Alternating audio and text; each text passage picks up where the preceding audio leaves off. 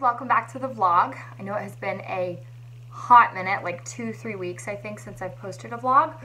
Um, so I'm just gonna catch you guys up. I have to finish getting ready. My curling iron's heating up now.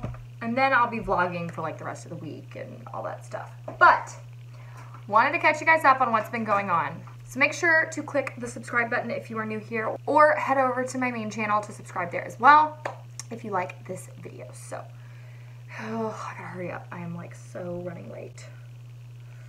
All right, so the last two weeks have been fun, busy, but like just overwhelming to say the least. And so I have not been able to vlog. The biggest reason was because, so I post my vlogs on Mondays. So Sundays is when I edit them. Sundays and Saturdays are usually when I do all of my like blog and YouTube stuff. Um, I'll try to get some of it done throughout the week, but for the most part, it's like Saturdays and Sundays are those days because Monday through Friday I work my regular job. So on the past two Sundays, the last week I was at a bachelorette party. The week before that, my husband was at a bachelor party. So like he helps me with my blog and YouTube stuff. So I was kind of like stuck in this really weird place without him being there to help me. And then I had to like come home and figure out just at least what needed to be done for my blog and YouTube channel this weekend. So I just really haven't had the chance to like actually vlog. But on top of that, also like I've just been, I haven't had anything that's been vlog worthy. Like I feel like I've just been sitting around telling you guys like, hey, I'm trying to vlog and this is all I'm getting. So it was just like, it wasn't that good. But it's okay. I think I have talked to y'all since I launched my wedding timeline, but if I haven't, that was awesome, and I love you guys so much. You guys were so happy, and I've gotten a lot more hate comments just in general on my channel. Um, once I hit like 5,000 subscribers, I mean, I get like one or two a day, and I'm still steady erasing them. Like, I erase them on my vlog channel when I get them, just because everyone's like, it's a part of YouTube. Like, you should just put up with it. It's so stupid. And I'm like, are you really telling me that I should have to put up with hate? yeah, that makes sense. So, um, I've been spending a lot more time, like, just trying to, like, filter out negative comments. And, like, I even have figured out how to create, like, a held for review thing. So, like, I don't see all the negative comments. And if there are certain words that someone writes in the comment section, it will ping and make me approve or deny it before it goes live. So like that's the biggest reason is there are other YouTubers that like I'm afraid to even go in their comment section because I just know that no matter what I say, I could literally say, "Wow, the sky is so beautiful and blue." And someone would be like, "How dare you say such a thing? That is horrible. The sky is orange." And like it would just be this whole thing. Like it does not matter what I say in some YouTubers comment sections uh, like even I will get slack for it. So I have been spending a lot more time trying to figure that aspect out because I will never let that be a part of my YouTube channel. I just don't agree with it. I think it's so stupid. And I mean, sure, some YouTubers, like big, big YouTubers, they don't have time to sit around and filter their hate comments. That would be literally what they did 24 hours a day. But for right now, I'm going to do everything I can to like have YouTube catch the trolls before so like I don't have to sit there and do that because they actually have um, people who like will do that for you. So that's kind of what I've been spending my time on. I have lost more weight. I had been talking about that like I'd been trying to vlog the last few weeks and I had been talking about like my weight loss a little bit more in it and then I posted I think it was just like a video of an outfit and I got, it was somewhere around like 13 to 17-ish, 18-ish, uh, like comments on people and they were like, you've lost weight, tell us what you're doing. And so I ended up making a um, full video on it that went live on my main channel last week. Just because I feel like sometimes I'll want to briefly talk about something on my vlog channel and I'll just like discuss it and then I'll move on. But not everybody that watches my vlog channel watches my main channel or vice versa and then sometimes I think things need to be a little bit more in depth. So that was that's actually one reason I got a lot of hate um, like more people have discovered my wedding series and they like are so rude if I don't do something exactly the way that they would expect it to be done so anyway I'm over that I'm gonna get off that little I'm gonna get off that little soapbox. But I am down um, eight pounds from where I was when I like officially started changing up my diet. I was at like 162 when I started and I'm at 154 now. I feel so much better and my goal weight is 145. And like I've said, I explain that all on my main channel. So if you want to know how, why, how I came up with that number, what I'm doing, you can go watch that video. But um, I just feel so much better than I have probably since like even high school. Like even in high school, I remember I was skinny and in shape because I was a cheerleader, but my mom, like, I didn't feel good. And my mom used to always tell me, like, it's because you eat, like, absolute crap, Mo. And so now that I'm, like, eating good and I'm taking my vitamins and I'm losing weight and I eat just, like, overall more filling things, I don't find that my, like, mood swings, like, my hangriness is as, like, up and down as it used to be. My body isn't as angry as it used to be. I just feel a lot better all the time. So just a little quick update on that. Um, okay, hair's done. Took about seven minutes, I think, according to the thing on my camera. Okay, so I'm done getting ready, but I wanted to tell you guys a quick little story. So, a lot of people have asked, um, am I going to share wedding week vlogs, wedding week stuff, um, wedding weekend things from my friend's wedding that is in uh, like later this month? And the answer is no. I decided to put myself out on YouTube. She has not decided to do that, and I don't want to like take away from her weekend by shoving a camera in her face all weekend. So no, I will not be doing that, um, just out of privacy for her. But I did want to tell you guys a story. So while we were on her bachelorette party this weekend, we ended up meeting Lauren Bushnell and Chris Lane.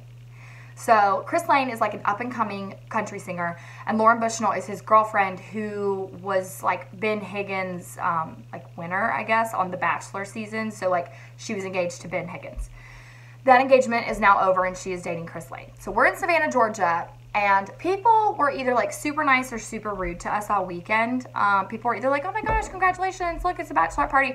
Or people would walk by and be like, oh my God, look, it's another bachelorette party. Or you're too young to get married. Like, shut up, you don't know how old she is. Leave us alone. So we were walking to go eat dinner. We were trying to find a restaurant and we walked by this like dingy old bar on some back road street in Savannah. And this like group of people standing outside a guy standing there with big black sunglasses on and a black baseball cap so you can barely see his face. His manager's standing there, you can see him, but he's got this huge camera and he's just like pointing at us. And then there's a girl that's standing with them that has on a black cap, like no makeup, and that was Lauren Bushnell. So these people are pretty like disguised, right? So they start yelling and they're like, Do you know so and so from The Voice? And I guess that's where Chris Lane got famous, but they were asking about some random guy from The Voice. And I was just like, no, I don't watch The Voice. And I just kind of kept walking. Me and a few of other girls had like gotten ahead, and then we realized the girls were behind us and they had stopped and they were talking to them. So I turned back around and I was just gonna be like, oh, I didn't realize we were stopping to have a conversation. And I made direct eye contact with Lauren Bushnell. So I was like, oh, that's that's her. And I was gonna walk up and I was gonna be like, oh my god, you're Lauren! But I was just gonna be like, Aren't you Lauren from The Bachelor? And when I walk up, I hear him going, You don't know who I am? Who says that to somebody? Like, he straight up talks to these girls who are my friends and is like, You don't know who I am? No.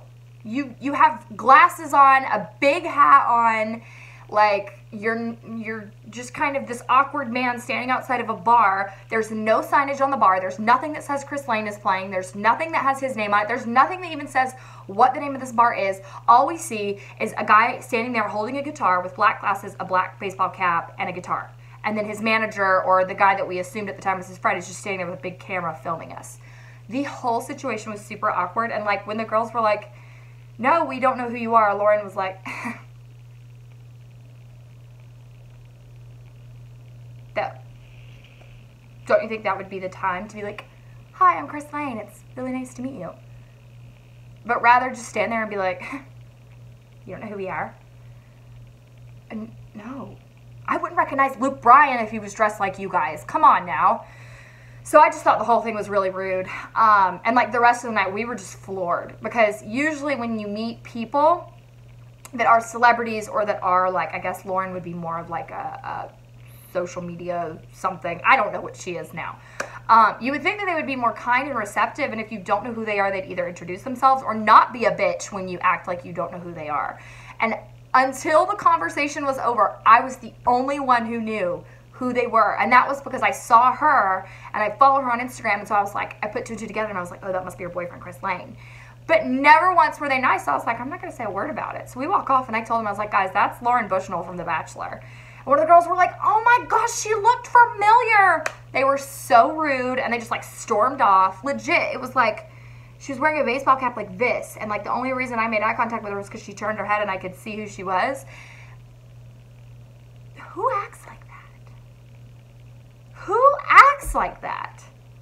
Whatever. I just wanted to vent about that, but I'm gonna go make my lunch now. And but I know you guys had been asking about that story, so I wanted to tell you. I mean, I just was floored, and like, uh, like I went and unfollowed her off Instagram because I was just like, wow, you're so rude. Hello, friends. Um, so I have not vlogged in a few days. Uh, I have so much to do today. Probably enough that I should justify putting on makeup, but I really don't feel like it because it's just so much effort. And I don't care. You get, say hello. Say hello. He doesn't want to say hi. Um, but I'm breaking out a little bit. So I kind of want to let my skin breathe just just a little bit today. So I probably should put on makeup, but I'm not going to. Um, so exciting news. Sam is officially a reporter. He had been waiting for this job for months. Like, he had messaged a lady about it months ago. And at the time, the position, sorry, I'm fixing my hair the position wasn't available yet. It was like they were prepping to lose an employee, and so um, January was when the employee was going to leave, and then the job would be available. So January rolled around, and for some reason, it just they were like, "We're sorry, we're not looking for it." So we had given up, basically. Like on last Friday, I think. Last Friday, we had a conversation, and we were like, "We give up. We can't do this. Like the job hunt has been too ruthless." and we were going to go a different direction for his job search. And then, literally on Saturday afternoon, while I was at the bachelorette party, they emailed and were like, no, no, no, we need you to come in and interview as soon as possible. And he went in yesterday and they offered him the job on the spot. So we're so excited. Um, it's really exciting. He worked really hard for that position, he worked really hard in school for it. Finally time something amazing happened for that boy because he is an awesome man. So I am going to get running. I've got to go. I've got to, um, basically what I have to do today is all adult things. I have to go get my car, like my oil changed, my tires rotated. I've got to go, well, I think I have to go get gas. I have to run to the grocery store. I have to work on my schedule for, um, where's that folder I'm looking for? I have to uh, work on my schedule for some blog and YouTube stuff. I absolutely have to edit a video today. Like it has to be edited today. Um, so I've just got like a lot of stuff that I have to do and yet here I am sitting around casually like no big deal. So I gotta get moving, but I wanted to catch you guys up on the exciting news, the exciting things that are happening for my sweet little husband. Um, and I guess I'll try to vlog today, but we'll see how that goes. All right, so it's a few hours later and I look no better than I did last time you guys saw me.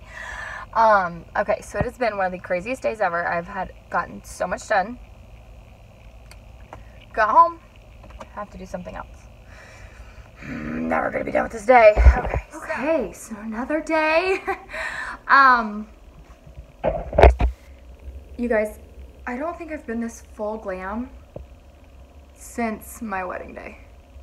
I did like cut crease, full like contour, highlight, because I, um, and this is a little bit much, like I think the lip color is a little bit too dark. Um, And honestly, I probably wouldn't go this mauve like for a full glam wedding day. But the reason that I did full glam today, okay, so the biggest reason that I did full glam today was because I have not done this much since my wedding day. Legit. Like, I've put on false lashes. I have, um, I mean, I've, I've done contour, but like I haven't done like full contour, baking, highlight, blush, false lashes, like everything since then. And I said I was gonna do my own makeup for the wedding that I'm in later this month. And then I was like, crap, I don't even know if I'm still, oh, I scared him, I was too loud. I don't even know if I'm still good at it. Like I practiced so much before my wedding because I am not a full glam girl. Like I can definitely be a full glam girl and it looks like it's like that's how I live.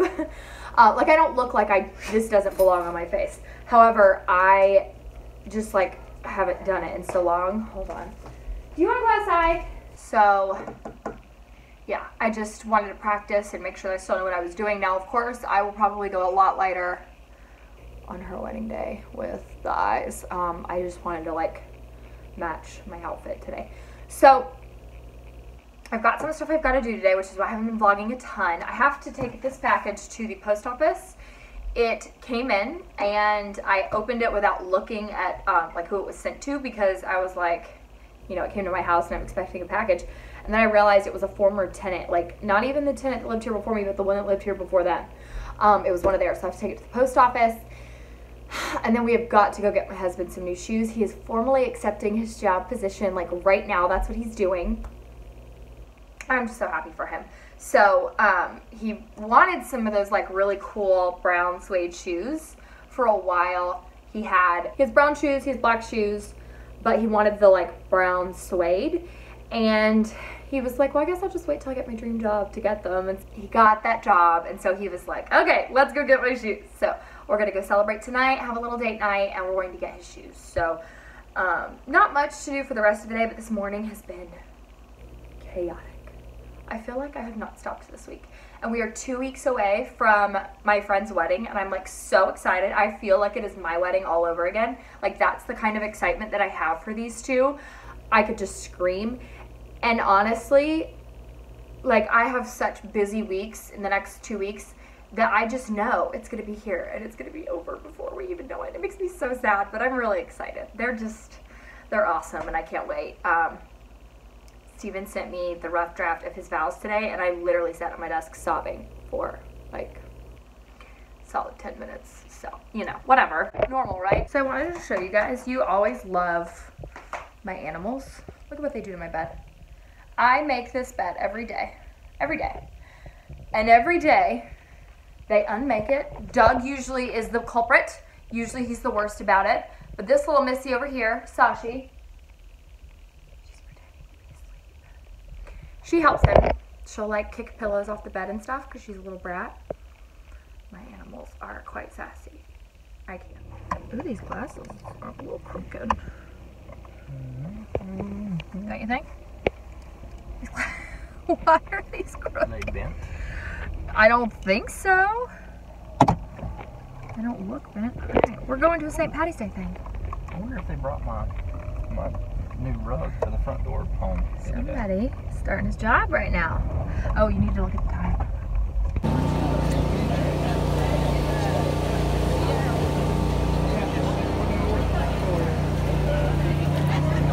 Thank you so much.